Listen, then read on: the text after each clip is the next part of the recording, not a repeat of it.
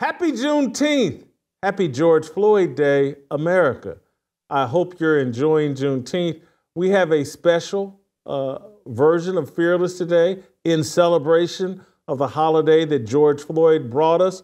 Uh, we're going to discuss Marc Lamont Hill, who's a friend of the show. You guys have seen him here on the show. Marc is a leftist. And last week, I asked uh, Marc about his faith and whether or not he practiced any religious faith. And he dodged the question, said he didn't want to answer it, ducked and dodged. But over the weekend, uh, Sunday, uh, Marc sent me a sermon that he preached at St. Sabina in Chicago. This is a Catholic church on the south side of Chicago. I think it's located pretty close to O Block. Uh, anyway, uh, Marc sent me his sermon. Uh, I'm going to analyze it today uh, with Delano Squires first, and then with uh, Anthony and Virgil in Tennessee Harmony. So uh, buckle up. You're going to get to hear Marc Lamont Hill from the pulpit on Juneteenth. Next.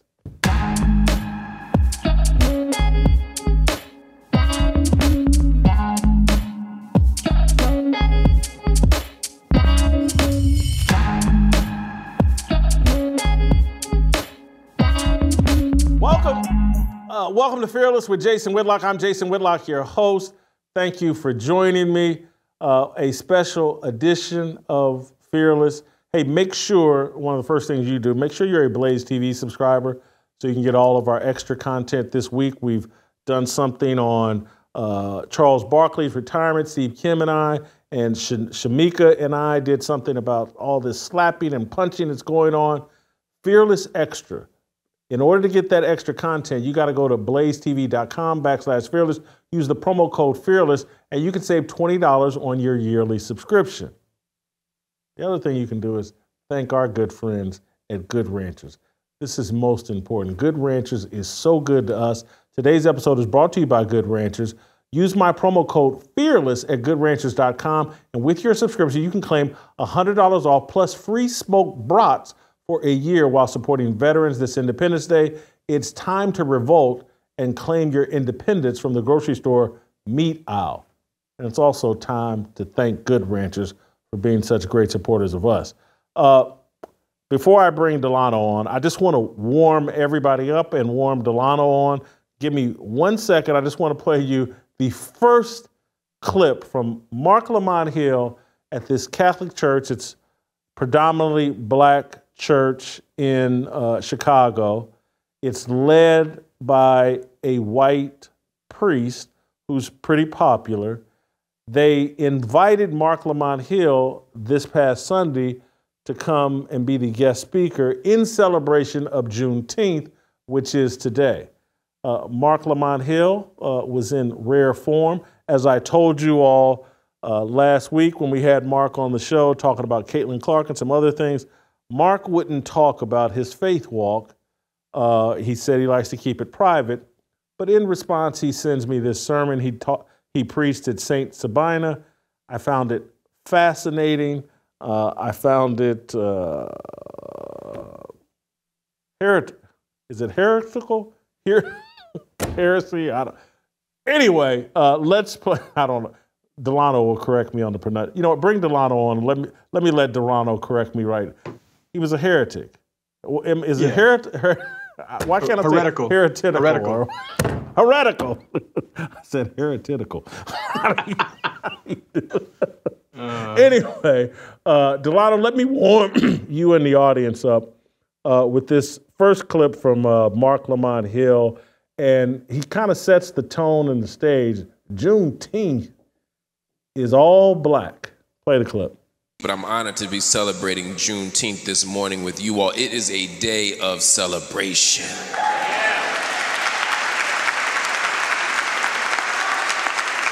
And even though the Democrats and the Republicans and the government now honor it, we ain't gonna let them have it. We ain't gonna let them take it over. We ain't gonna let them turn it into Target and Walmart. We ain't gonna let them turn it into McDonald's placemats. This is a day of sacrifice. This is a day of revolutionary love and joy. This is a day of black people turning up the notch and making black people free. This is about justice for all of us. This is about love for all of us. This is about us keeping track of us. It's about us imagining a future that the world didn't see for us, but we saw for ourselves. The devil can't have it. The government can't have it. The White House can't have it. Our enemies can't have it. It is ours.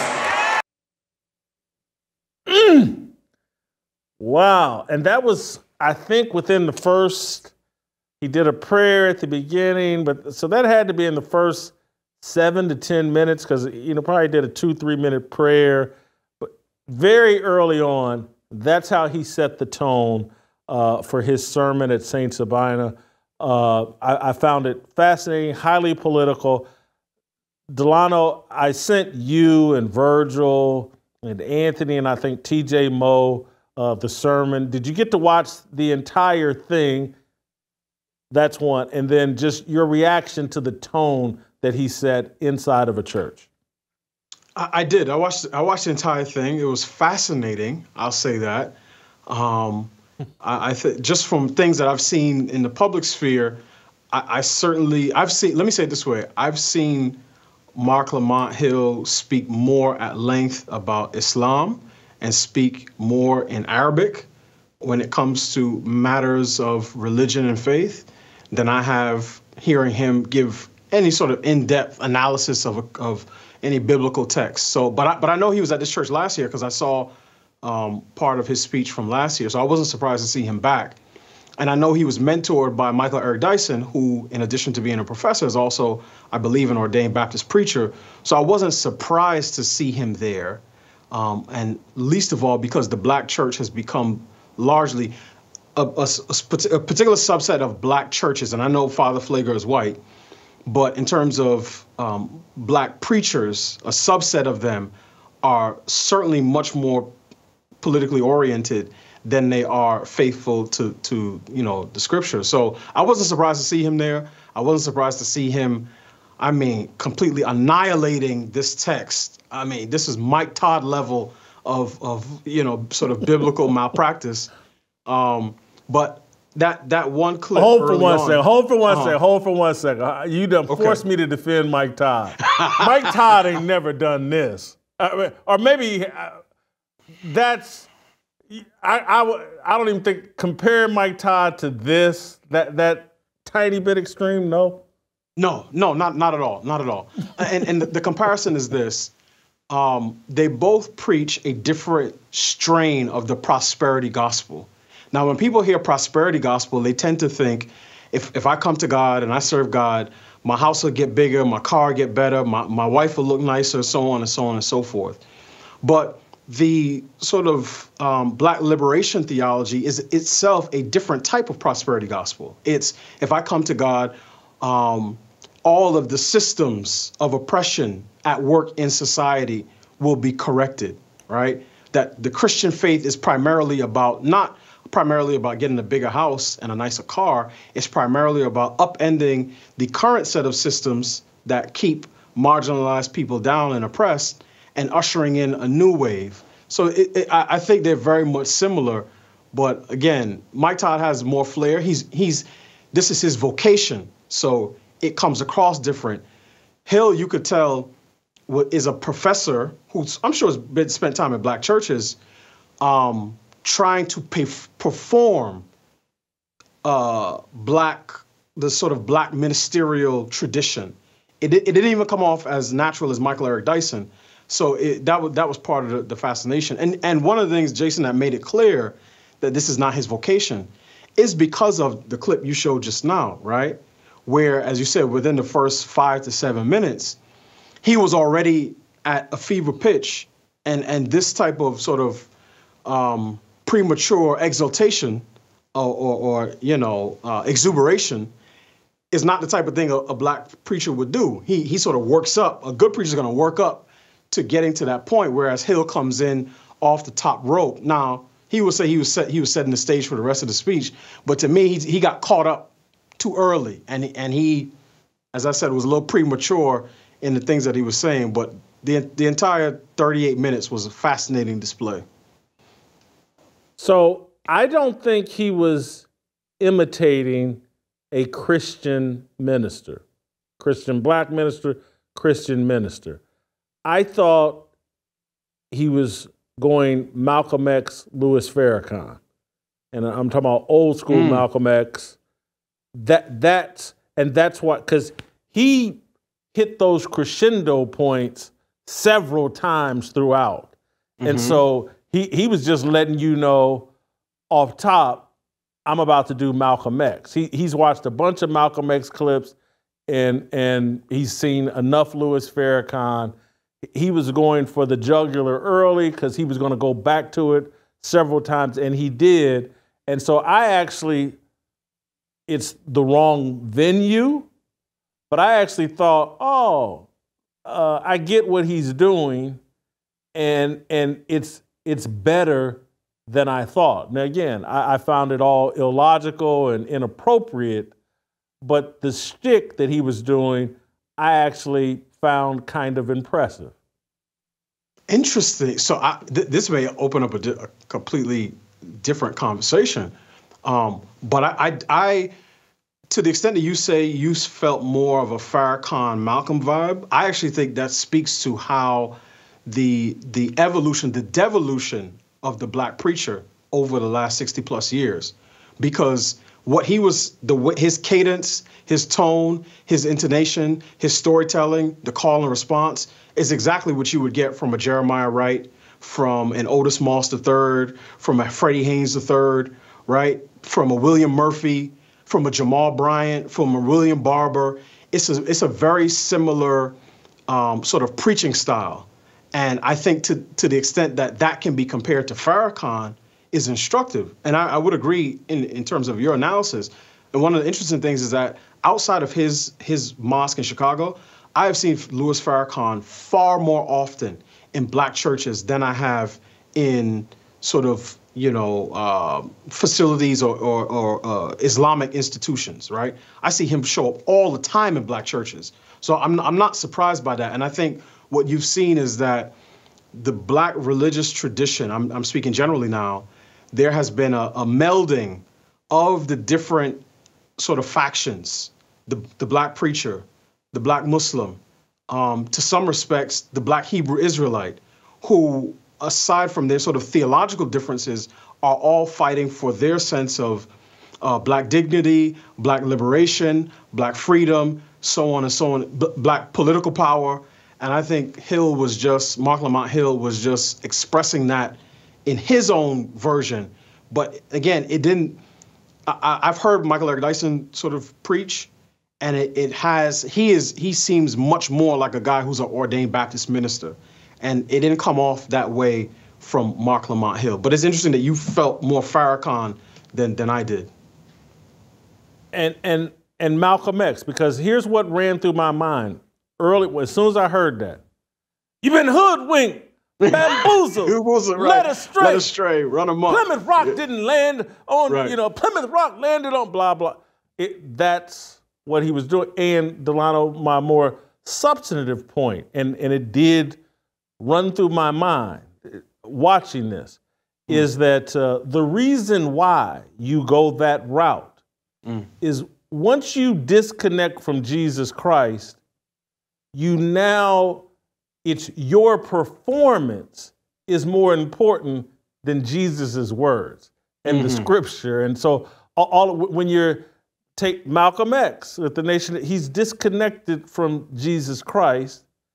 Uh, and so it's performative. It's the, the preacher is the clear superstar uh, of this. And so he went straight again. It's like Michael Jackson took the stage and he played Thriller right off the top because mm. he, he's sitting there going, "Well, trust me, I got Beat It, and I, I got mm-hmm. all these other songs, Man in the Mirror. Blah, I can get here. You know, I got a whole plethora of these things I've practiced and and are ready to bring the crowd up and down. So that I'm t- I heard Malcolm X and I was sitting there like, oh, okay, this is this is what he did. And again, he sent this to me, Delano, because last week I asked him about his faith and he wouldn't say it. And so out of nowhere, he sends me the sermon to say, hey, look, I, I, speak at churches. I don't know if he's trying to say he's some sort of Christian.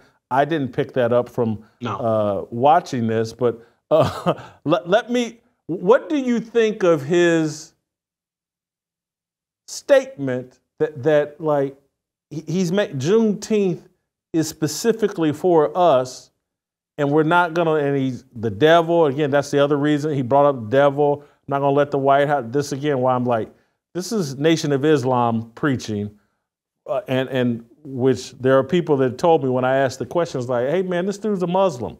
You know, mm-hmm. why are you speculating? And, and maybe he sound again, he sounded like a Muslim preacher in, in, in the deal. But what do you think of his assertion that Juneteenth is basically a black holiday. Mm. And, and let's, say, let's say I agree with him, and that's why it doesn't need to be a federal holiday because it's not for everybody. And the biggest proponents of Juneteenth are, are arguing, hey, this ain't for everybody. This is for us, and we're going to own it and take it back. The devil, the government, the, the White House, they can't have it. He's making a separatist argument so I, I, want to answer that question, but but again, I, I want to go back to the to yep. the the sort of preaching style piece because as you were talking, I, I thought of something, uh, and I I think I might have said this uh, maybe about a week ago, one of my um, previous appearances. I think one of the things that got the black church off of the rails, or or the black community off of the rails, is when we is when we stopped looking to the church for sort of moral instruction and ethical foundation and started to look towards revolutionary politics. And one of the biggest differences between a Marc Lamont Hill, who's a self identified revolutionary, and even, let's say, a Louis Farrakhan, is that um, their politics, particularly on social issues, are going to land them in very, very different places, right? Lamont Hill is like, look, everybody do whatever you want I don't make judgments on certain things. I certainly don't make judgments on sex, sexuality, gender identity, so, so on and so on and so forth. Whereas a Farrakhan is going to say, no, we can't be a society or a people or a nation that's built on two men um, shacking up with each other and think that we're going to survive. Survive both in terms of human nature and survive God's wrath. So I, I think there's a difference in terms of where the two ideologies would end up. To, to the question you asked, um, on many in many respects, I agree with Marc Lamont Hill. Like, n- not on the this holiday is for us exclusively, right? Obviously, it's a holiday that has a particular resonance to, um, and, and, let me be even more precise, to multi generational Black Americans, right? To to the Black folks whose ancestors were enslaved in this country, and particularly those from Texas, right? Like my wife, it has a, a special place in their hearts. Juneteenth does.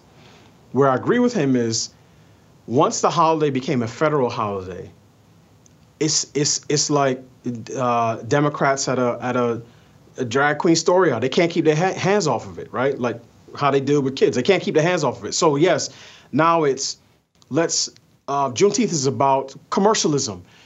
I don't know if you saw the clip last week at the Juneteenth celebration at the White House. You have a cross-dresser, Billy Porter, s- sitting in the front row. He didn't start off there, by the way. He came in toward in the middle of the, the, the event and has ended up sitting on the same row, a couple people down from the President of the United States, right? He's in his full transvestite regalia. He's bopping to Kirk Franklin, who's on the stage, and, and Billy Franklin, you know, Billy Porter's doing his thing. So I think to, to that extent that the holiday has been co-opted by people, and let me let me be self-critical fr- from my own people, from the West Indians in New York and Philadelphia and D.C., who think Juneteenth is some Pan African holiday, right? It's about the global struggle. No, this particular. You calling holiday, out the tethers? Are you calling out the tethers on this show? right. But but but there's something to be said for, you know, just like words have a meaning, um, holidays have a particular purpose, and and we can see this clearly when Christmas moves from being about the birth of Jesus to being about, you know, buying some gift some gift that your ungrateful kid is not going to play with.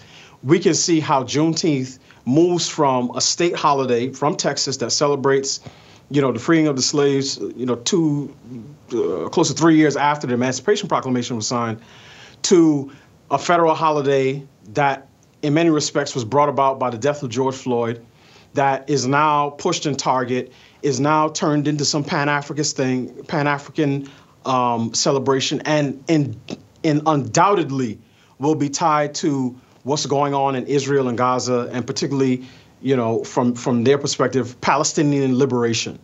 So in that in that sense, I agree with him that it's this holiday has a meaning and it, it shouldn't be bastardized by people who want to use it for political purposes.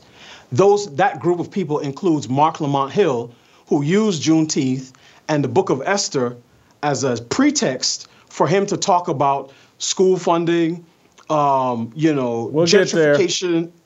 So I'll stop there. yeah, we're, we're, we're, getting there. The, the, the only other thing I, I, I would add here, Delano, is his assertion that, you know, this is the day of celebration. We've, and his, I don't remember his exact words, but basically he's arguing like we freed ourselves or mm, mm-hmm. we we did this, black people, blah blah blah. And and to me, it's very because obviously we played a role in freeing ourselves, no question about it. From Richard Allen to Frederick Douglass to you know, we played a role in freeing ourselves. But it's it's almost like how people in Russia hear about World War II and they hear America beating their chest. we stopped Hitler. We we blah blah blah. We we won World War II, and it's the atomic bomb. And and, and the Russians are sitting over there going, you know, 20 million Russians died during World War II, mm. and and I think five six hundred thousand maybe Americans died, and and y'all sitting over there like y'all carried the heavy load, y'all did this, blah blah. It- it- it- it's crazy to Russians, and so when it comes to the Civil War and just the body count and who who died and who sacrificed their and and it's oh we found out late and this is this national holiday and it's just for us. That sounds crazy to the people that actually died and sacrificed their lives. And if we went to the actual data and numbers, we wouldn't be talking, well, black people did this. Now, Christians did this, many of them white, and and that's who needs the glory. And that's who, with Memorial Day, which was started by black people in 1865 or 1866, my memory's a tiny bit off, but thanking again, we started that as a thank you to the people that lost their lives in the Civil War. And now because and and Texas to me appropriately like, hey, we didn't find out till Juneteenth. We're gonna remember this day, or a certain part of Texas didn't. We're gonna remember this day. B- But to now, for the rest of the country, because George Floyd died, say, you know what, the whole country's got to honor this little tiny distinction in Texas. It's crazy and it's silly, uh, and it's it's again it's it's not standing on truth and facts, and he's he's leaving out. That's the number one thing a church and religious ceremony should be about is the pursuit of truth and the representation of truth, and he's not doing a good job here. Uh, before I, I want to play you another clip uh, about the Book of Esther, but before I do that, I want to uh, talk to you guys about this July 4th. Claim your independence from the meat aisle. Prices are up, quality is down in the store, and there are more imports than ever. It's time to revolt. GoodRanchers.com is the number one place to get 100% American meat for this uniquely American holiday. Celebrate the sweet taste of freedom with savory meats conveniently delivered right to your door, and they're all born, raised, and made right here in the US of A.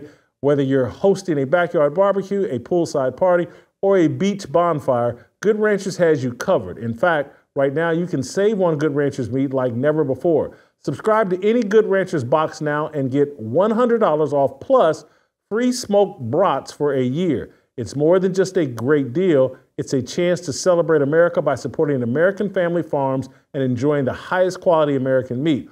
All you have to do to claim this offer is go to goodranchers.com and subscribe to any of their custom curated boxes filled with 100% American beef, chicken, pork, or wild caught seafood. Use my promo code FEARLESS at checkout to claim your $100 off and free smoked brats for a year. Get free shipping on all your orders and make this Independence Day one to remember. If you needed any other reason to support Good Ranchers, They're not only amazing partners of my show, but they support the paralyzed veterans of America too. Every order saves American farms and supports American veterans. Change the way you buy meat today at goodranchers.com and use my promo code FEARLESS to claim your $100 off plus free brats for a year. Make this Independence Day unforgettable with food that brings everyone together and flavors that honor the spirit of America. GoodRanchers.com, American meat delivered. Delano, uh, let's move to uh, the alleged substance of Marc Lamont Hill's sermon in Chicago. Let's play uh, SOT 15. So I decided to go to the book of Esther. In the fourth chapter,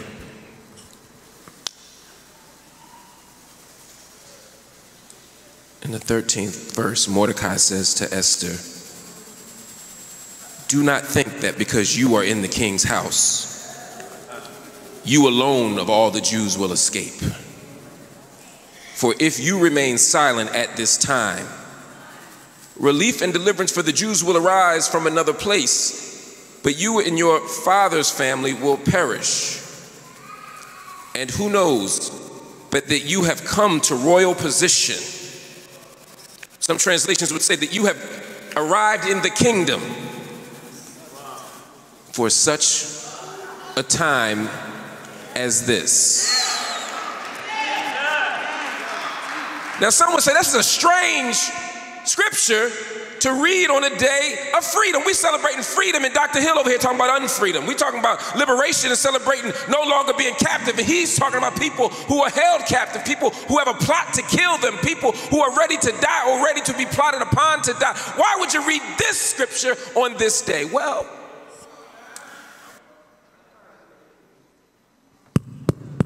my line of thinking is that this, in so many ways, reflects the moment that we are in. There's never a moment of complete freedom. There ain't never a moment where we all good. Even at moments of celebration, we must keep track of those who can't celebrate. There's somebody in Cook County Jail right now or Rikers Island or Sing Sing or Green or wherever who can't be here with us. There's somebody who's working 18 hours a day because the month lasts longer than their money, who don't have the luxury of sitting here and worship with us. There's somebody on the sick and shut in list who would love to be here, and their mind and their spirit is with us, but their bodies cannot be.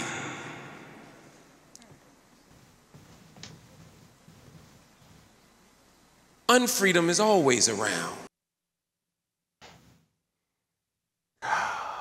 Unfreedom is always around. This is the substance, and I, I spent some time yesterday uh, looking through the verses that he used and reading other people's interpretation uh, of the verses. I, I'm no expert, but I did hear from Virgil. He you know, he was quite critical, saying like, "Man, this guy's taking this whole story completely out of context." Uh, your thoughts?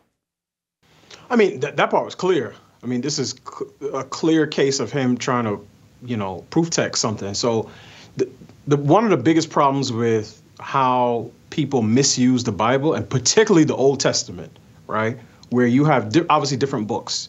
You have books of prophecy. You have you have uh, the Psalms, you have Proverbs of wisdom, right? Um, but you also have books of history. And these are books that retell things that actually happened. But what people do, particularly the Old Testament, is they'll read a text from the Old Testament. They, they will they will read the verses to their credit. They get step one right, and then they go straight. They give some little bit of context, and then they go straight into application. And that application is always about something that they want to talk about already. Now imagine, Jason, how this would look if you were in school and you read the battle of, you know, some battle in the Civil War or the, Se- or the Second World War, Vietnam War, and you go from talking about the, the parties, the, the belligerents in this particular conflict, to saying, well, you know, this applies to our fight right now against hunger and against poverty. This is like, well, but this is not what this particular text is talking about. Um, so it was clear to me that he was um, misusing the biblical text for his own sort of political purposes. Now, one of the things, and I'll, leave this to, to Virgil and Pastor Anthony, is that one of the things the Old Testament um, is heavy on is even in the telling of history of you know biblical narrative that oftentimes there's a foreshadowing of the coming Christ. So somebody may play the role of a savior, little s, in a, in a particular story, or redeemer in a particular story. And what it should make the, the literate Christian who understands that the, the old points to the new and the new references back to the old is to say, oh, this person is playing a particular role and foreshadowing the, the one who will come and, and be the final sacrifice, the ultimate king, the ultimate prophet, the ultimate priest. But when your mind is focused on politics, you miss all of that and you just say, oh, Esther is, is just like you all. And in the same way that she had to speak up on behalf of her people, the Jews, which is quite ironic considering, considering some of the things, you know, the positions that he takes, you all need to speak up on behalf of, of your people, you know, wherever they may be, on for school funding and so on and so on and so forth. So yeah, complete misinterpretation, misapplication of the text. But as I said, Jason, when I, when my wife and I used to go to this old church close to where we live, we would listen, sometimes listen to WHUR, Howard University Radio, on the way back from church, and it would be it would be whoever was pre- preaching at Rankin Chapel that day on Howard's campus, and this is exactly what the messages sounded like when people were reading from, you know, preaching some text from the Old Testament. They just they take it, they strip it of its historical context, they strip it of its sort of, um, you know, sort of prophetic, uh, you know, weight, and they make it all about modern day politics. And this was no different than that. And that's what was so disconcerting, uncomfortable for me. Church was packed, everybody's applauding, people are standing up on their feet. It's like, it felt like no one's questioning any of this as he totally, totally politicized the Bible to fit his narrative. And, and I'm sure he'll watch this and maybe we'll have Marc on to discuss it, but he'll say, well, isn't that what conservatives do? That they politicize the Bible to fit their narrative. Uh, I, am going to let Virgil and Anthony carry the weight here.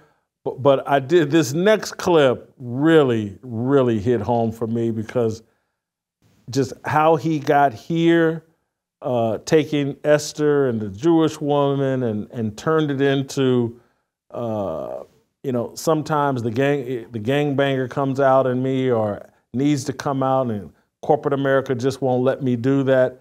Let's play SOT 16. And Esther had made her way into the kingdom. Her beauty captivated everybody. She took everyone over with her beauty and her charm. And so she became the queen. Part of how she became the queen, of course, was to hide her Jewish identity.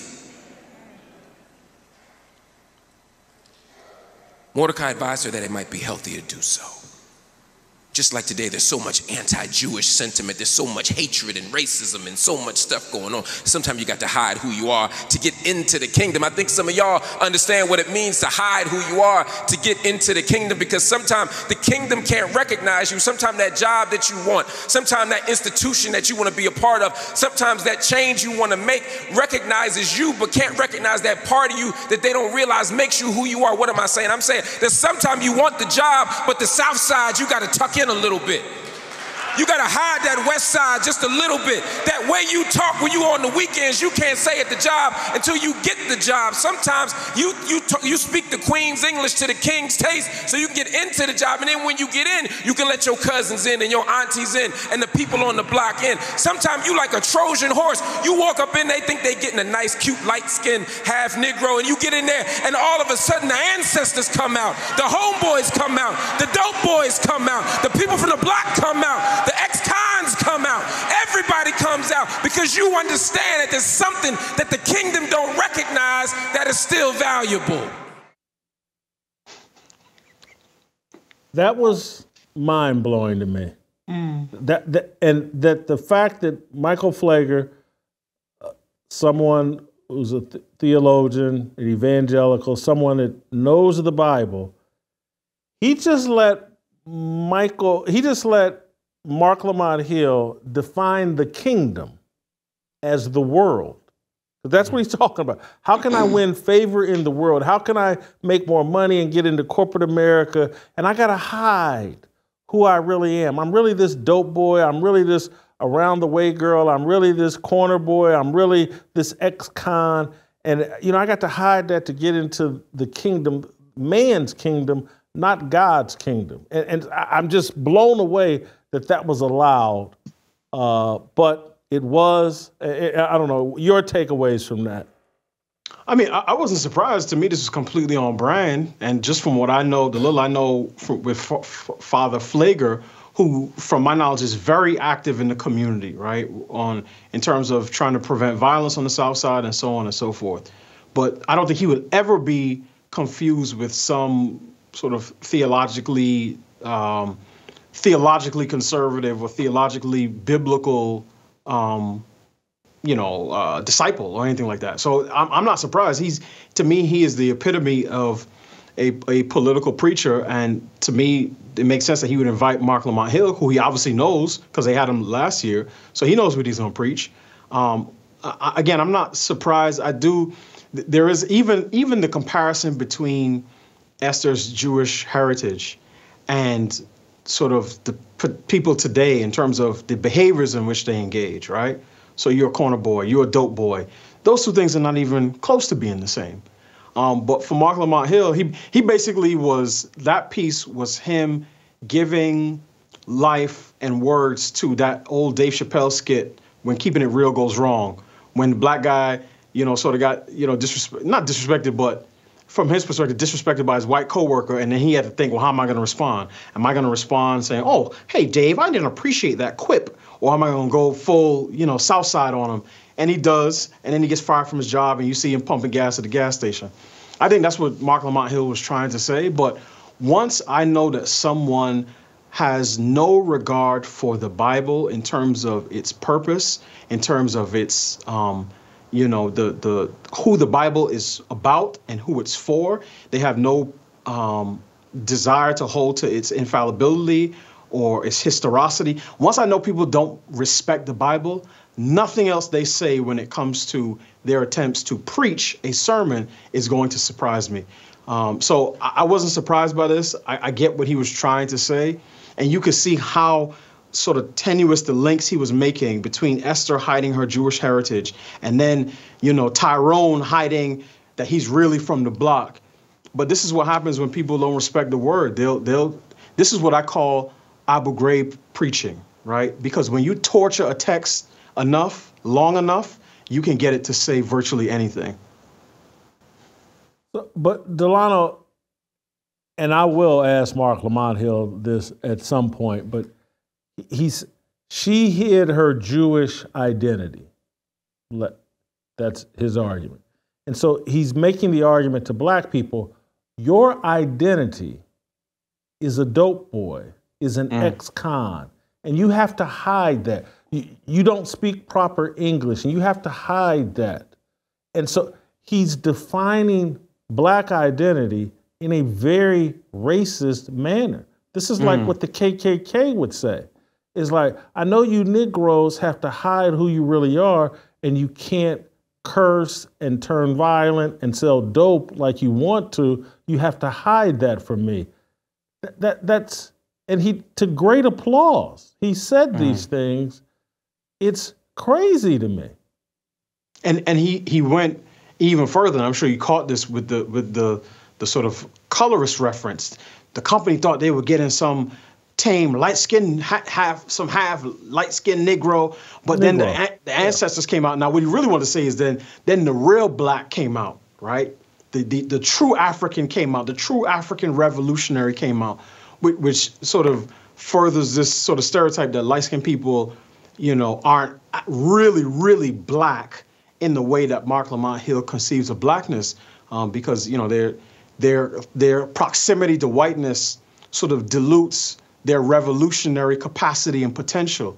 So I mean, it was it was all bad, but yes, the way he sort of frames uh, sort of black racial identity is not the way a Booker T. Washington would have framed it hundred plus years ago. It's all about the the the subversives, the the criminal element, all the things. It's it's street. It's not corp because the notion that somebody has to hide who they are and then they like they're not this sort of corporate persona, you know, is itself an issue. But this is this is consistent with I think the worldview that he puts out there. Uh, final clip I want to play for you, Delano, is his argument that Jesus was a political prisoner. Uh, let's play SOT 17. Every single day, there is a plot to kill our babies. It ain't got to be written in ink. It ain't got to be put in an edict. Every single day you walk into our schools and you see a plot to kill our babies. Every time you go into a city and there's lead in the water and the babies can't drink and mothers can't cook and fathers can't live, there is a plot to kill our babies. Every single day, black folk in this congregation die from preventable diseases because we don't have access to food, clothing, and shelter. There is a plot to kill our babies the richest empire in human history, and people die every single day because they ain't got health care. There is a plot to kill our babies. We dump billions into prison and hundreds into schools. There is a plot to kill our babies. To celebrate Juneteenth is not to ignore the fact that there still remains a set of systems, a set of structures that are designed to kill us. Sometimes Christian folk, you say, well, I'm a believer, I ain't got time to worry about systems. I'm here about faith. I'm here to follow Jesus. But Jesus was critiquing the systems. Jesus was a political prisoner. How do you spend that much time talking about the plot to kill our babies without mentioning Planned Parenthood mm. blows my mind. The, the leading killer of black babies is Planned Parenthood and never gets mentioned. You know, uh, Crips and the Bloods are somewhere, Vice Lords, Gangster Disciples, the dudes running around on old block, they're somewhere on that list uh, involved in the plot to kill our but never mentioned. Uh, no access to food, clothing, or shelter. With all these government subsidies, I just don't know if that's accurate. No access to, I mean, th- this is, and Marc Lamont Hill has traveled the globe. He knows that what we call poor here in America, in many places on the country, would be considered wealthy. Mm. It, it, it's, but to leave Planned Parenthood out, plot to kill our babies, it's like that's he's O.J. Simpson on the hunt for the real killers, and the real killers is, I guarantee you, you could walk from Saint Sabina to a Planned Parenthood clinic, an easy walk, and but he can't see it. Jason, when I when I heard that part of the speech, I was gonna call it, it's not a sermon. I, I mean, I almost crashed my car. I, I, have this is for the guys in production. I have never wanted access to a clip of video more so than when he started talking about plot to kill our babies, up until he started talking about, you know, imitating the person who says, I'm not about systems and structures, I'm about faith. Please send that to me because these the leftists revolutionaries have zero self awareness. This is a man, it's not that he just left out Planned Parenthood and didn't talk about abortion. It's that Marc Lamont Hill supports abortion because he taught, he referenced it lightly towards the end when he said, you know, uh, trying to take take away women's rights or something to that effect, rights to their bodies or something to that effect. Marc Lamont Hill is is he, he might not say he's pro-abortion. He's certainly quote unquote pro-choice. He, I'm, I'm sure he says he'll say that abortion is part of the liberation struggle and it's about uh, woman's right to choose and reproductive justice and reproductive health care. So this guy, it, it, it, it, wasn't that he got close to it.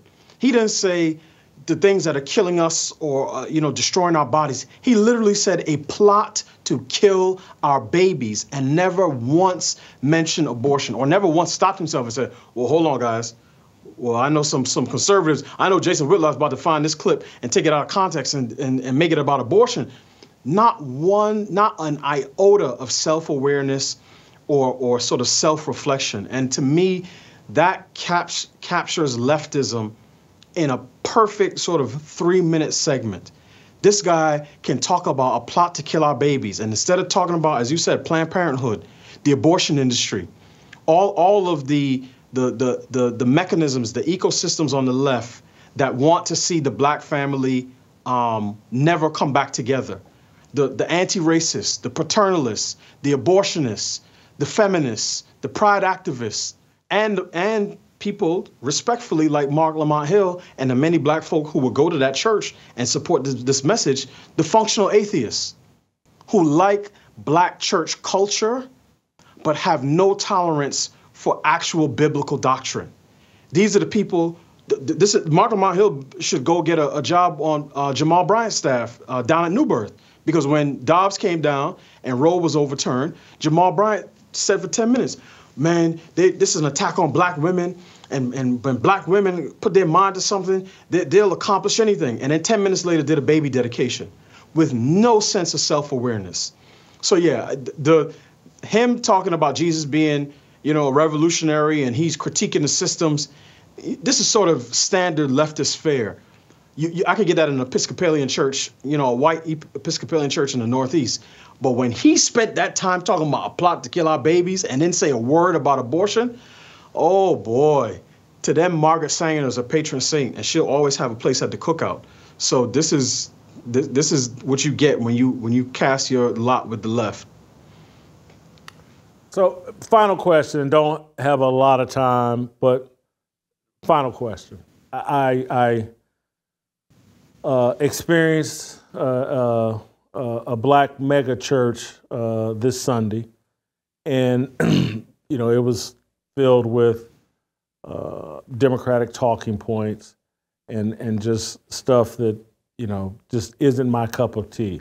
How, how what percentage hmm. of the black church is captured by this black liberation political ideology. What per- influenced by the Malcolm X, Louis Farrakhan impersonations? Mm. what what percent? Because it, I know the Wooten guy in North Carolina, mm-hmm. but it's it's I'm look what percentage is this? Is this heavily influenced by this political idolatry? That that is a an excellent and fascinating question. Um, it's hard to say because God always has a remnant. And I think the churches that are gospel preaching and Bible teaching that are faithful the pastors who are faithful to their biblical call don't get anywhere near the type of publicity and don't have the influence that these churches and these pastors have on a national scale, I pray to God that we just see it, but it's not the majority.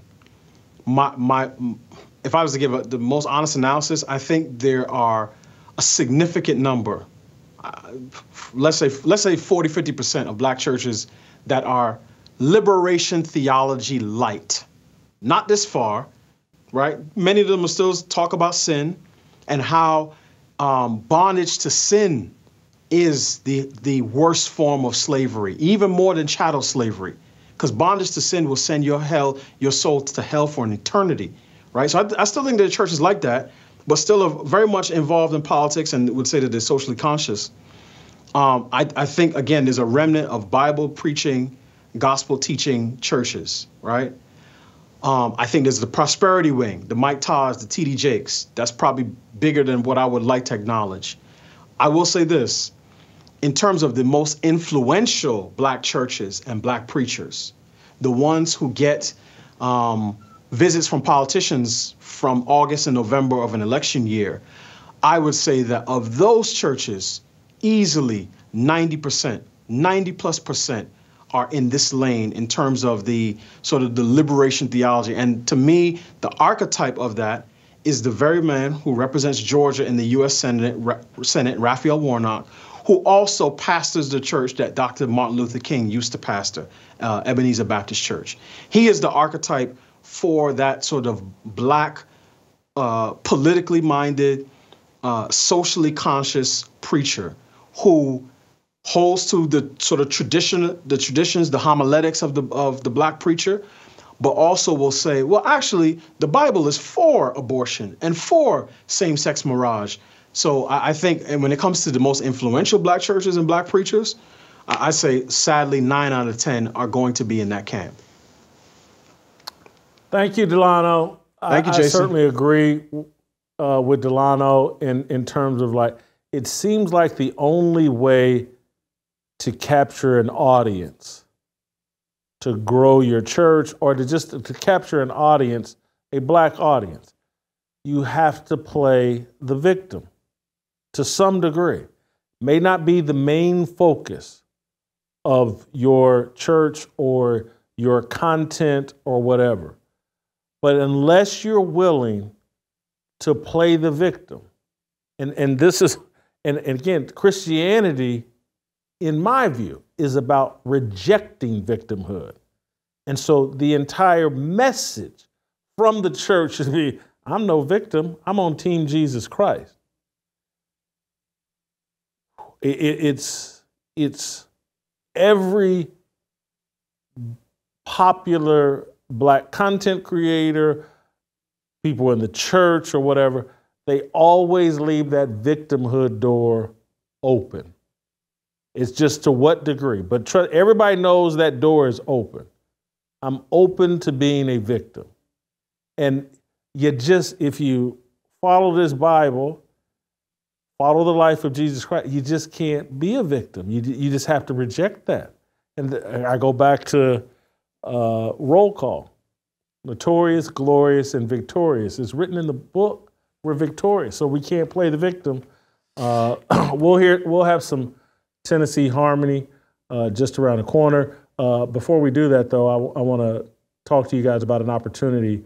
Uh, if you join the BlazeTV.com subscription model, uh, Sara Gonzales and the Blaze original team uh, have done an excellent docu series on voter fraud. Voter fraud exposed how an election can be stolen.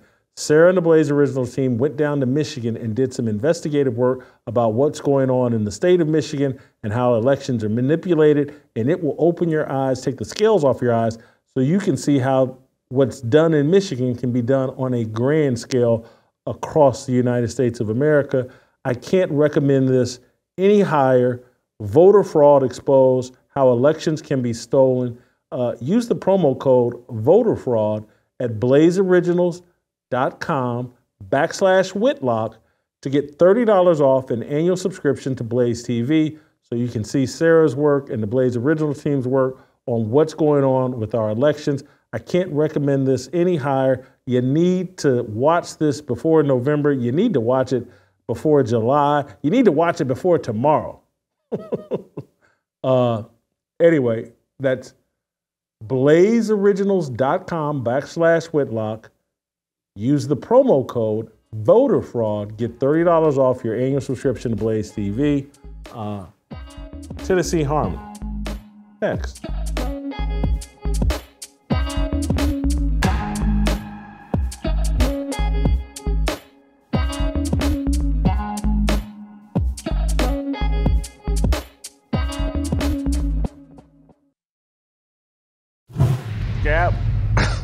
Man, you are loaded for bear. Bye. You have all the. You, you've just talked me into LaLuca Doncic. LaLuca Doncic. That's who we're looking at. I can't believe it. with my mug on me. Oh, DD, oh, what it is? Oh, DD, what it is? I was not prepared to, to believe that coming into this conversation, but you've talked me into.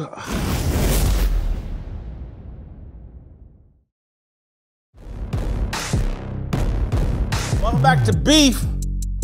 As I walk you through uh, my top 50 media beefs of all time. Yeah, I'm an equal opportunity beefer. It's like, Randy, are you asleep at the wheel?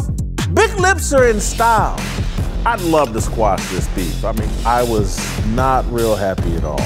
I, I, I was less than thrilled. I was displeased. And now we have beef.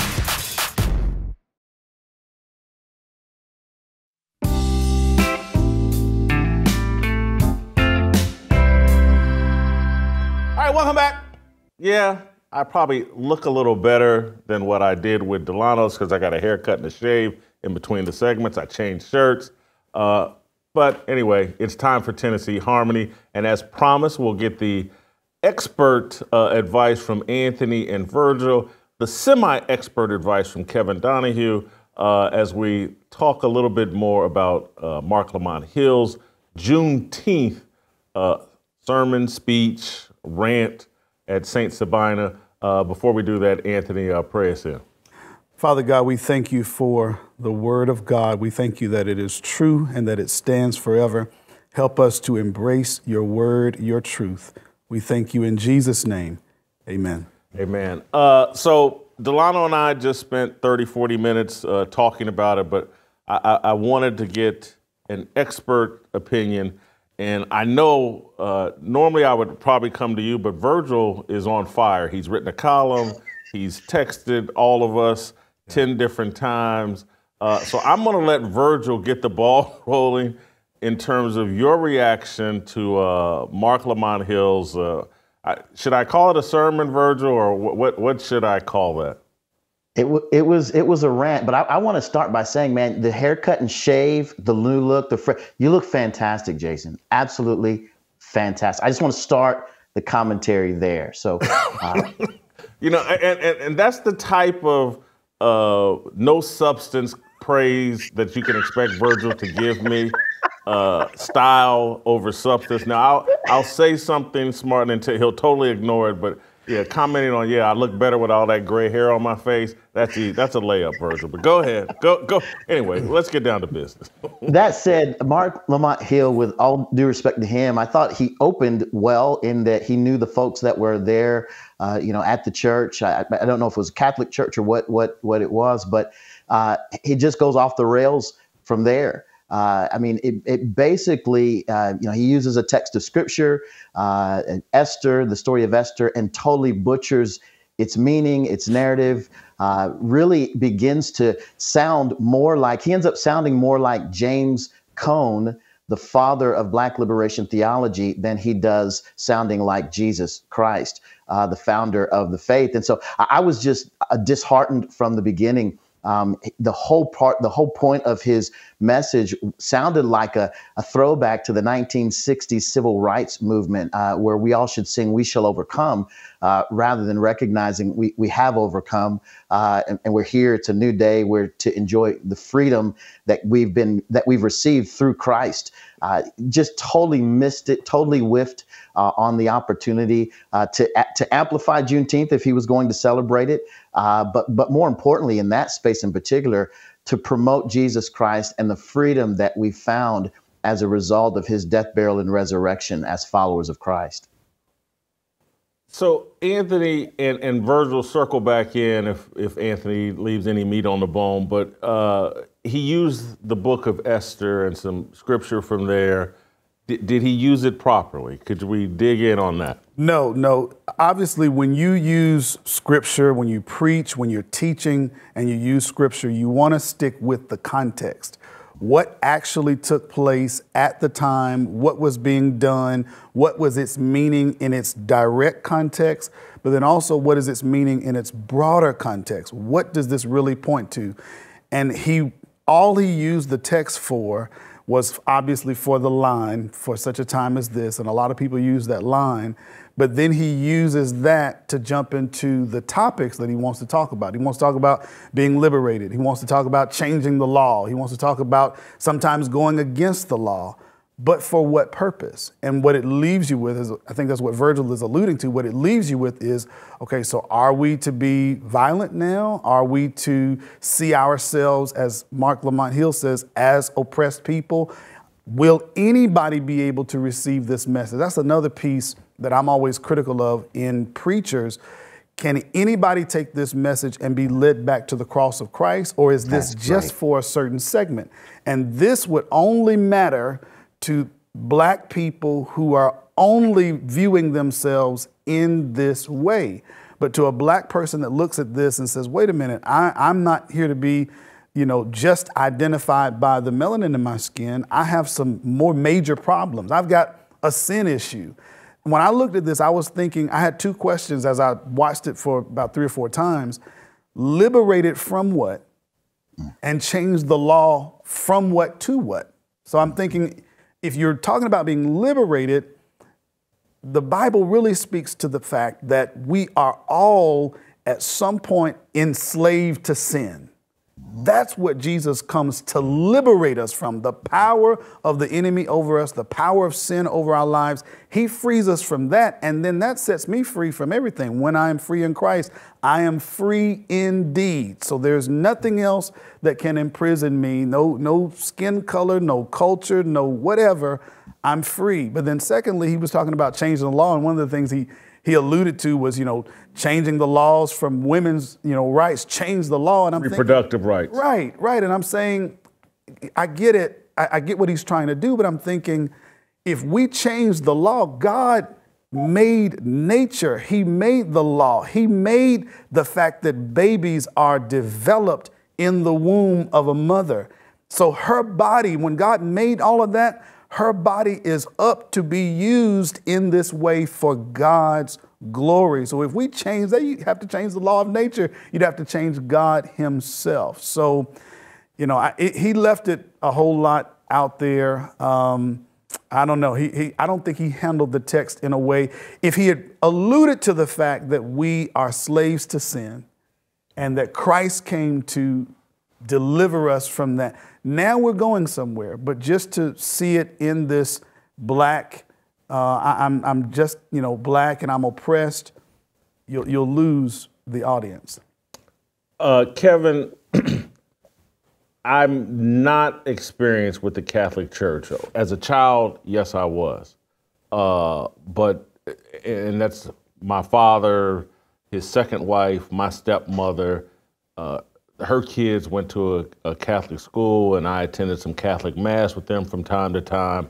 And and my limited understanding of like Catholic Church, it, it, it's like seeing someone like a Marc Lamont Hill speaking at a Catholic church. That's not my. Uh, Was it a Catholic church? Saint Sabina's, I think, is a Catholic church, and that dude seemed to be. Didn't the white guy standing behind him seem to be wearing Catholic garb? Yeah. I, Saint Sabina is a Catholic church okay. in Chicago. And Michael Pfleger, the, the white pastor, priest there, uh, is pretty well known. So that's what was, I was like, so as just as, am I right in my thinking like Catholic church, that's, they don't use that type of ministering or preaching normally? Not normally. I yeah. mean, it's the, the Catholic church relies heavily on tradition, but you have a broad swath. I mean, you have, uh, you know, Biden calls himself a Catholic, and he's a pro-abortion. I mean, super left-wing liberal guy. Uh, and you have you have it takes all sorts. You know, I think gotcha. we mentioned before. We have 1.4 billion Catholics, so you get a mix of everything, different cultures, different ways of seeing things, and then sometimes priests take it upon themselves to be community activists you know, and to be community organizers, leveraging the Catholic Church. And sometimes they're reprimanded, sometimes they're not, depending on the leadership within that diocese and within the, uh, the overall Catholic Church as a whole. What did you just, as the white guy in the room, what did you think of? I, I like both takes, both Anthony and Virgil. And, you know, I think the challenge here, and what I like what Anthony just said was the purpose of Christ is to free us from our sin life. You know, so to lure people back into some kind of slavery, whether that's slavery to color, slavery to gender, slavery to sexuality, I think it's leading in the wrong direction. So uh, what Anthony said, I think nails it, where it's does it lead us back to Christ Jesus? That's our purpose as Christians. We want to become more like Christ. And does it free us from the sin life that we're entrapped in? His argument, Virgil, eventually turned into Jesus was a political prisoner and Jesus was a political activist. And so what we're doing is we are emulating uh, Jesus. That was his argument, Virgil. Your response? Right, right. Right. I mean, what you see often with those who advocate social justice uh, is a, is a minimization of who Christ is and an elevation of who we are and our role uh, to to act as our own Savior. Uh, and so that's kind of what you hear him him say when you when you go back to um, you know James Cone, who I mentioned earlier.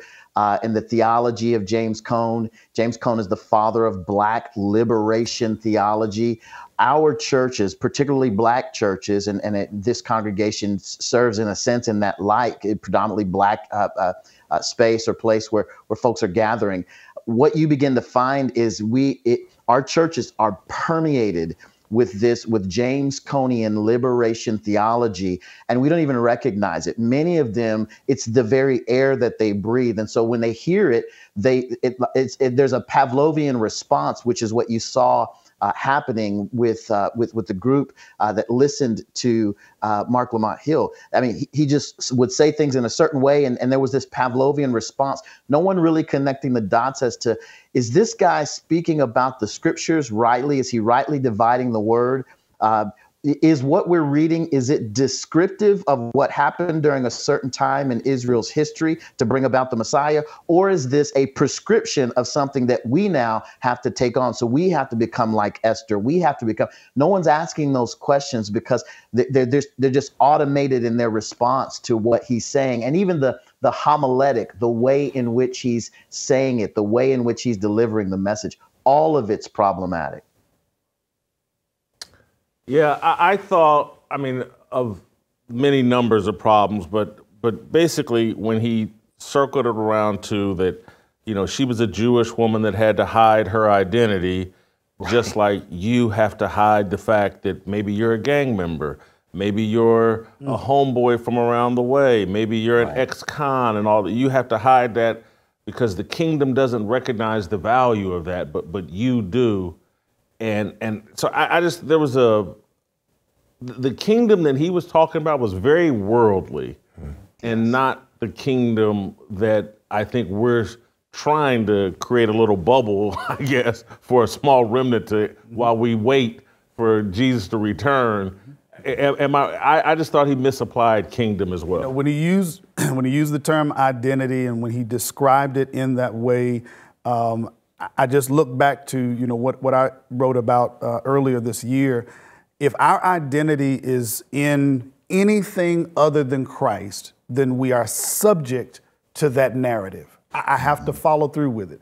So what he was saying was if you're a black person, regardless of, of your character, regardless of what you your aspirations, what your struggles, you have to assume the identity that it's such a subjective identity. You got to follow that. And, and if you put your identity in Christ, that I am to be conformed to the likeness of God's dear Son, Jesus Christ, if that's my identity, then now I'm not worried about any other ism, any other, you know, demographic. I'm trying to be like Christ. And the problem with this is you miss the bigger play that the yeah. enemy is running on you. See, the bigger play that he's running on you is that he wants you to get caught up in all this other stuff. He wants you to get caught up in that so that you're not making disciples of Christ. You're not teaching others that, hey, your real problem was not that you were enslaved because of your skin color. Your real problem is that you were enslaved because of sin. Mm-hmm. And unless we get that piece taken care of, he'll have any other thing that will get you. And so that's why I'm pushing to Let's look at our sin problem. If we, if we recognize that I am a wretched man, I am a sinner that needs Christ as my Savior and my deliverer, when I come to that, then I don't get caught up in the rest of these things that can lead me further away from Christ. I'll say this quickly. There's a question that all of us deal with. We deal with several of them. Why am I here? Uh, what is my purpose?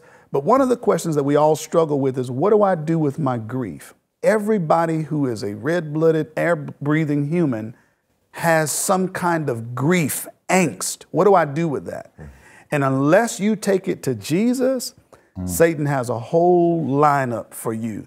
You're angry that your father wasn't there? Here's a gang for you. You're struggling with making it in poverty? Here's drugs that you can sell. You're struggling with your identity and relationship with who you are? Hey, we got the streets ready for you. So if, if you lead into that, you'll go further into the enemy's camp.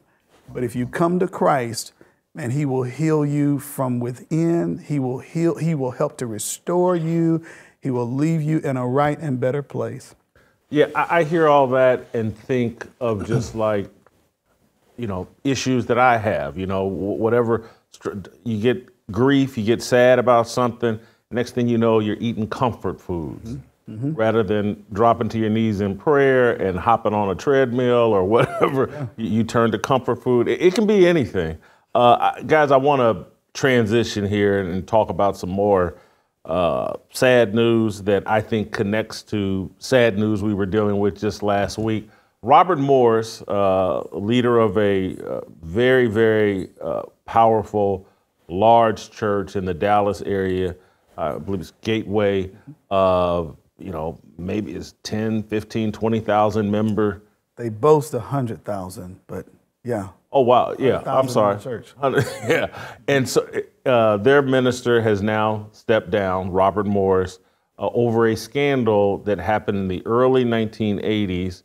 Uh, he's in his early 20s.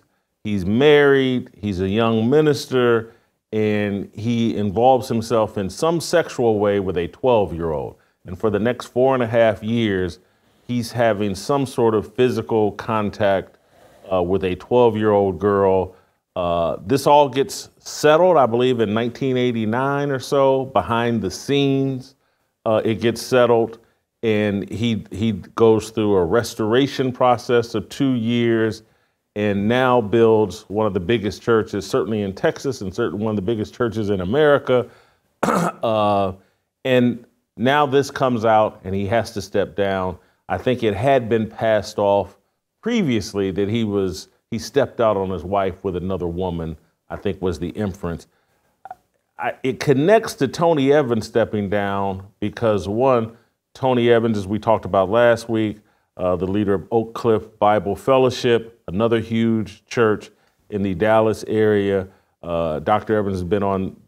I think Dr. Evans has been on this show. We, I've certainly gone down and visited with him. My memory's a little faulty. Obviously, I'm a huge uh, supporter of, of Dr. Evans. Well, he steps down because of sin, but doesn't provide the details.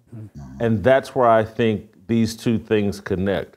Robert Morris, what just, what's just come out about him and all this, makes it impossible, in my view, for Tony to come back without giving full details on what the sin was. Mm. Because we, we're watching a big mega church that covered up pedophilia.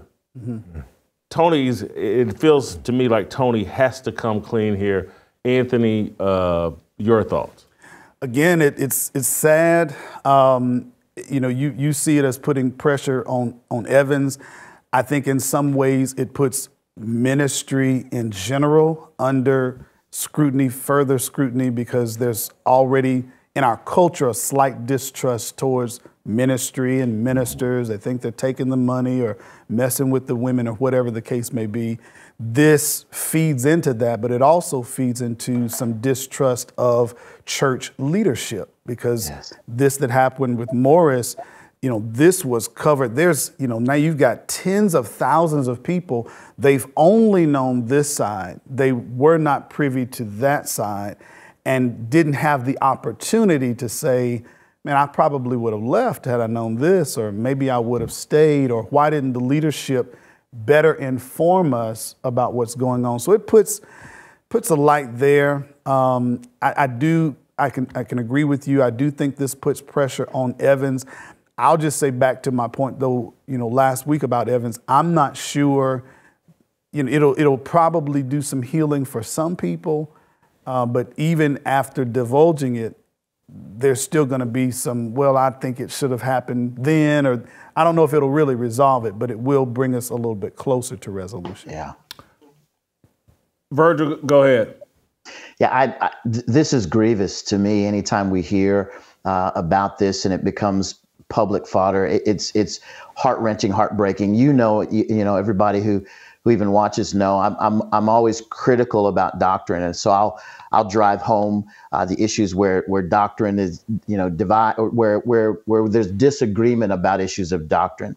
I think that's fair game. What I don't spend a lot of time in, investing in is, is is trying to find issues like this because at any point when this comes out, I think to to the point Anthony made, it is heart wrenching not just for the individuals involved, but for the for the church that's their local, and for the church you know uh, worldwide uh, people begin to look with a with a you know with a side eye toward what's going on uh, in churches all around. And what we've got to keep keep in mind is that while the sin that that those men are entangled in, and specifically the ones that we the issue that we know about with Robert Morris, is incredibly uh, egregious. It is it is it is unbelievable to to think about that that was covered up for that lengthy period of time. At the same time, I'm always reminded uh, that that when we see issues like this, uh, the, the Word of God is both a mirror and a window. We need to examine our own lives, our own hearts, mm-hmm. to see where we're falling short of God's glory, and immediately repent of that and and and turn to make it right. I think that's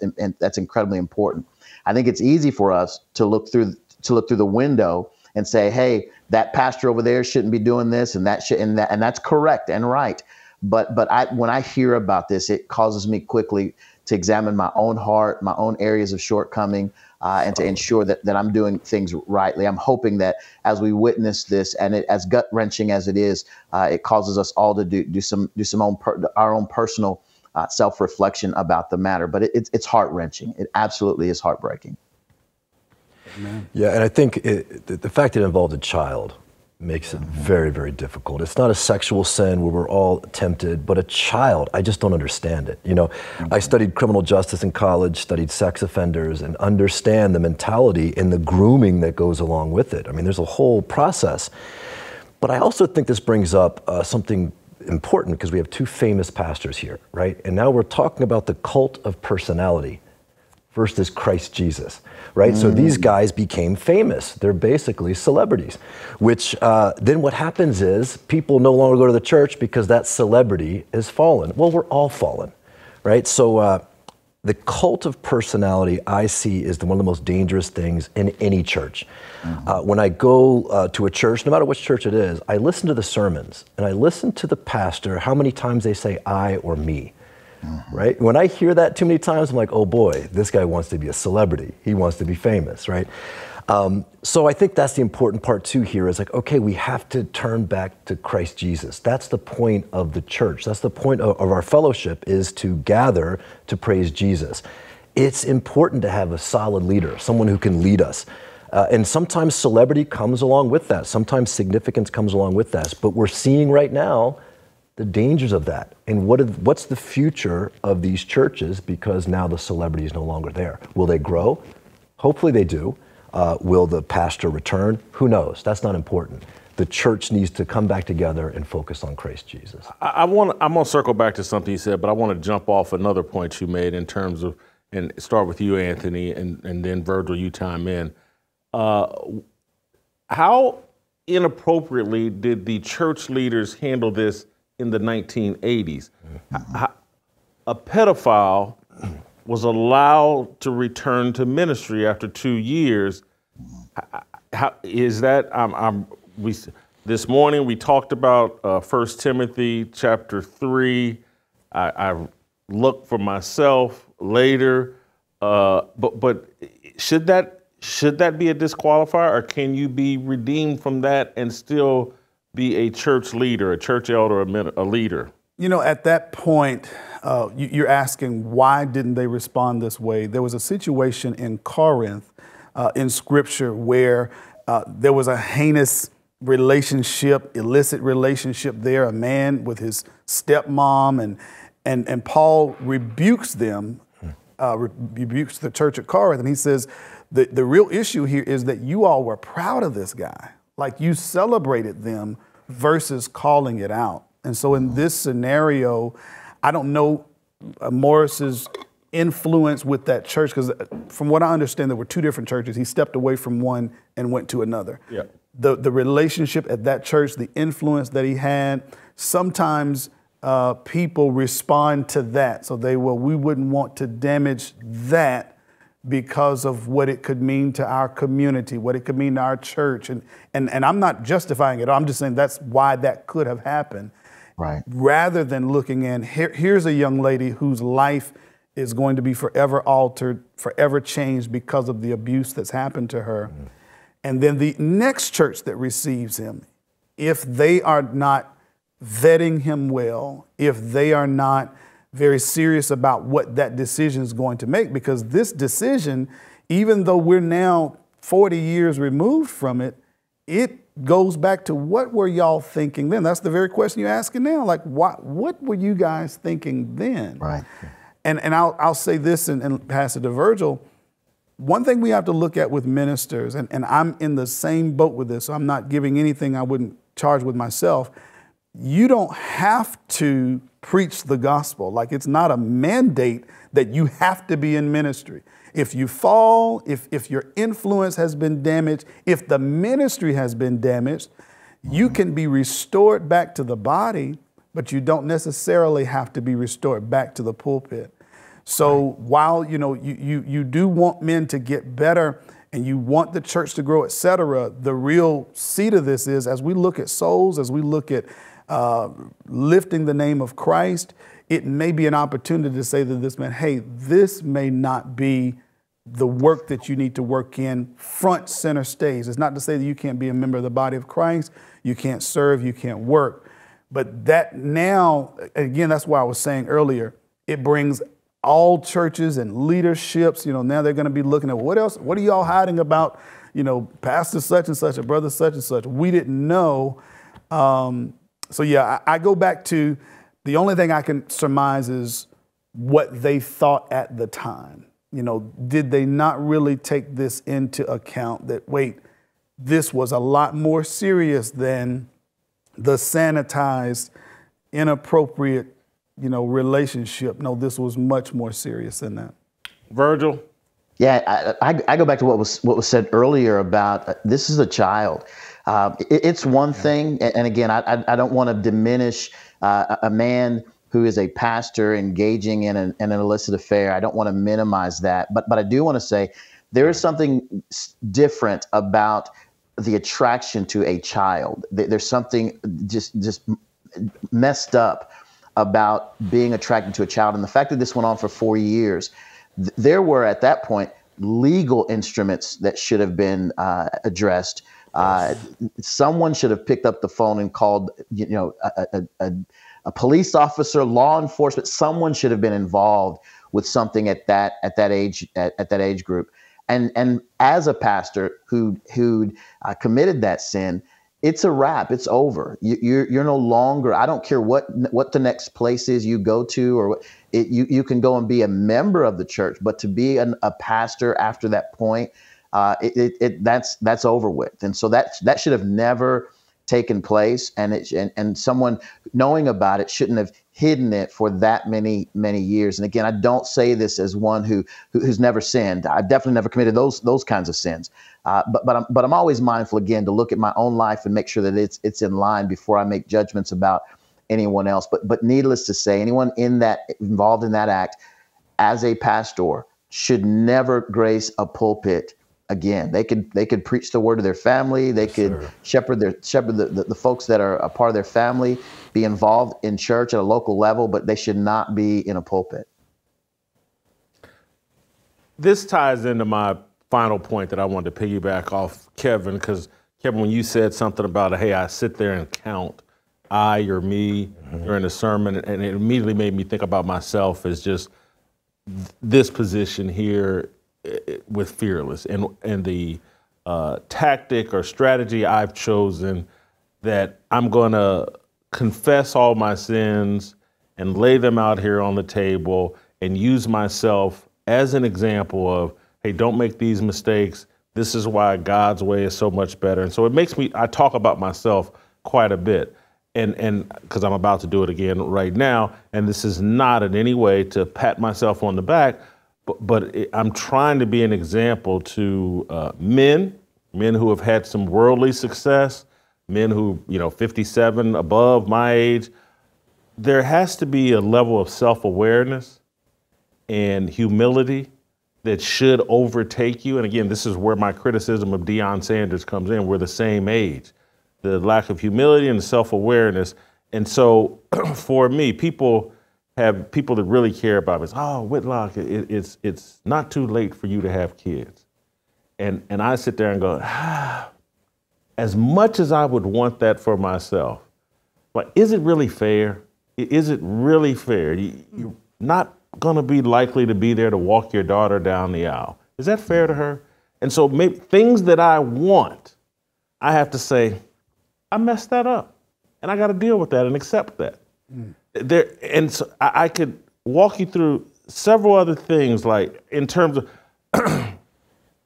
there are people very close to me. Jason, you're meant to be a minister, and I'm like, no, I'm not.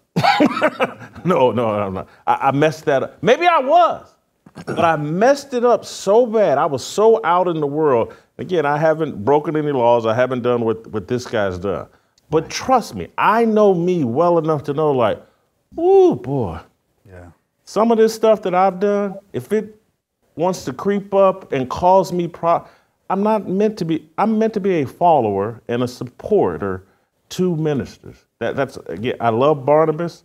That's where I've taken my identity. I want someone to say, "Man, you really help some ministers. Mm-hmm. Great job." That's what I'm meant to do. I'm not. And so there are things that not, I say it all the time, not everything is for everybody. And sometimes we take options off the tables with our own behavior.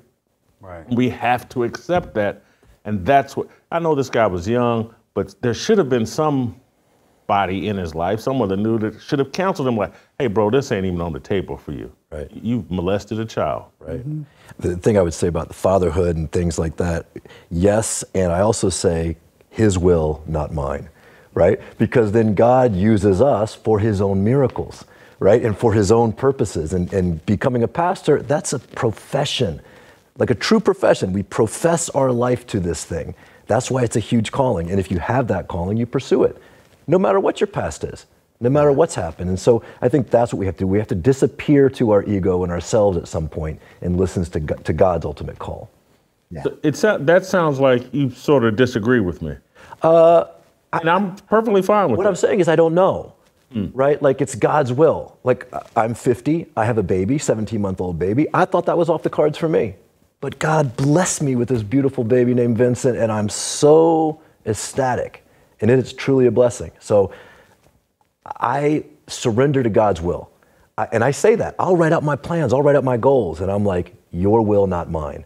This or something better we'll see what God has in store. Like when we plant a seed in the garden, you know, we're expecting the fruit of the seed, but we don't know exactly what it's going to look like or how abundant it's going to be or how sweet that fruit's going to be. That's God's will. But we have to plant the seed in the garden to begin with.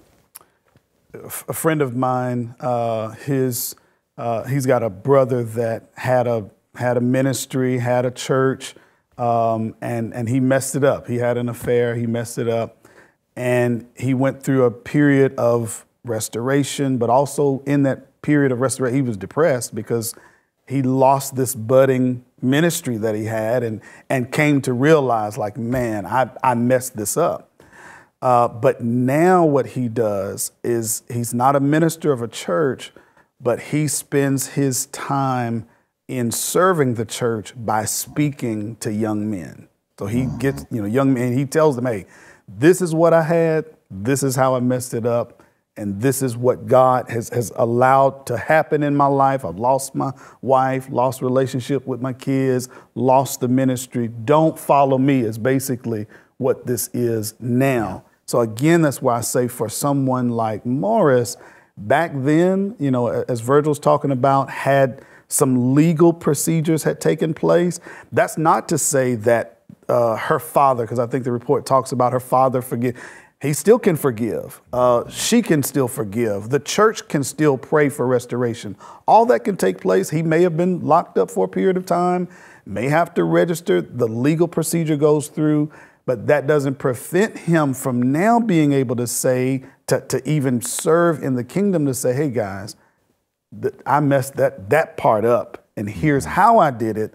Please don't do this, you know, and, and that's that's a way again, you know, when Virgil and I speak about this, you know, reflectiveness and the grace that we have, all of us have sinned. All of us have. And, and, and as you just pointed out, man, if everybody knew the skeletons we have in our closets, the bodies we have in our closets, all of that, man, they would look at us different. So I thank God for grace. And so when we look at others, it's not that we, man, that guy should be put under the jail. That guy right. should be, no, it's not that.